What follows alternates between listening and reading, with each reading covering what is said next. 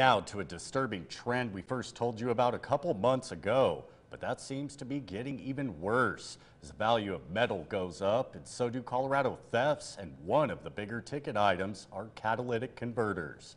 Colorado's Auto Theft Prevention Authority reports catalytic converter thefts soared more than 5% from 2019 to 2021.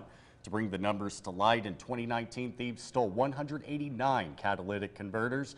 That number jumped to more than 1,100 in 2020. And then last year, thieves stole 9,000 catalytic converters. The metals in catalytic converters make it a a prime target. Right now, platinum is worth $980, palladium more than 2,000 and rhodium was worth a whopping 15 grand until it soared to 25 grand just this month.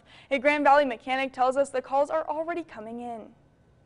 Thefts are up major, unfortunately. Um, in fact, I have fielded three calls and it's only Tuesday, you know, just this week. So we're getting calls probably between myself and the other large muffler shop here in town, which is Scotty's, we're getting probably three to five calls a week now about stolen catalytic converters. The Colorado General Assembly recently approved two bills making it tougher to sell and buy stolen catalytic converters.